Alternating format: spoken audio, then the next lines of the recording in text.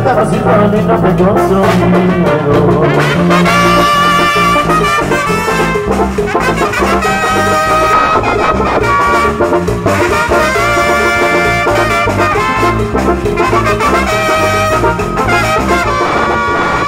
Y yo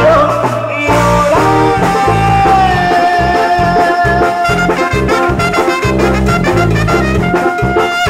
Si tú no te vas conmigo